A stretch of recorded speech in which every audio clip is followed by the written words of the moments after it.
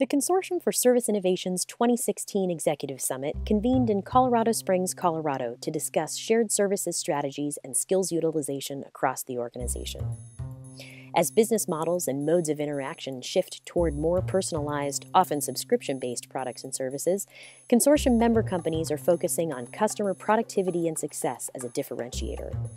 Because many members have mature KCS implementations with strong self service offerings to address known issues, an opportunity exists for support organizations to deliver customized, high value services.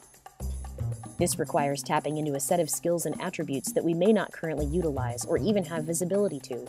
We had a great conversation around defining some of these skills. Listening, empathy, business acumen, and the ability to deal with ambiguity topped the list.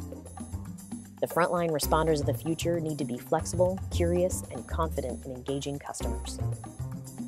Do we have access to these skills already?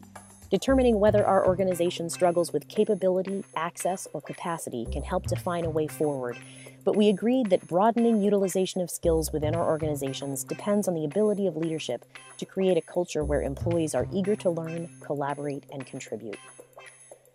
In addition, we had great open space discussions around performance management in knowledge sharing environments, measuring the value of self service, amending the funnel in the cloud model to better reflect the influence of social networks, and more.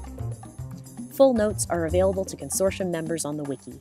We hope to see you at a consortium event soon.